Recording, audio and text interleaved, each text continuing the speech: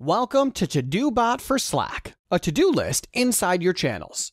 ToDoBot lets you create tasks when you are chatting to your team. No need to switch between applications to keep track of your tasks. Now, let's get started. The first thing you need to do is add the ToDoBot integration to your team. Once installed, all team members will have instant access to ToDoBot and the slash to-do command without the need to sign up. Okay, let's create our first task. We just created a task in the channel's to-do list.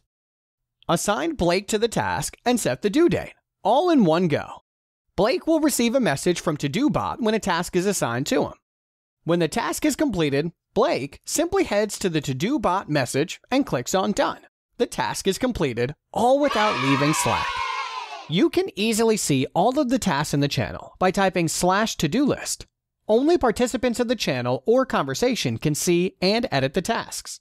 You can also see all the tasks you have been assigned to across all channels and conversations by typing slash my to do.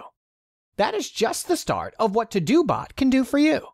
For more ToDoBot features, type slash to do help in any channel or conversation. Now it's your turn to try ToDoBot. Add ToDoBot into your team on Slack for free and get started today.